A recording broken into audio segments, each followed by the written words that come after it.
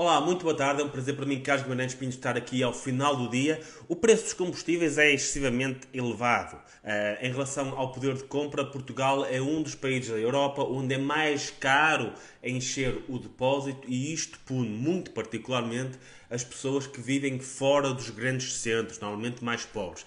Especialmente as pessoas que vivem no interior do país, onde não há grande alternativa à utilização do, uh, da viatura própria. No entanto, importa saber que o preço dos combustíveis é elevado devido à carga fiscal. Mais de metade do que é pago em combustíveis resulta da carga fiscal sobre os combustíveis.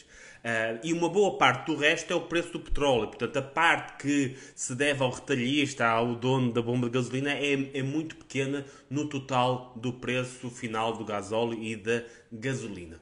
Por isso é que é péssima ideia impor limites de preços para baixar o preço dos combustíveis. A imposição de limites de preços, que é muito habitual em países comunistas ou a caminho de o serem, um, cria escassez, faz com que as pessoas deixem de querer vender aquele produto, especialmente vendê-lo naquelas zonas mais remotas onde é mais difícil chegar e por isso é menos lucrativo vender aí. E então o que é que acontece? Normalmente limitações de preços, especialmente quando são bastante pesadas, levam a que faltem os bens ou que alguns serviços sejam mal prestados ou que acabe por aumentar outro preço qualquer para compensar o limite de preços que existe no outro lado. Muito raramente é boa ideia colocar limites ao preço.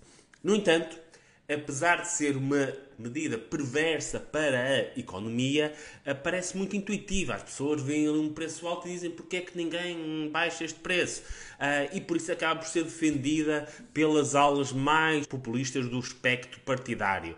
Eh, há um ano, o PCP propôs esta medida de limitação do preço dos combustíveis a propósito do estado de emergência.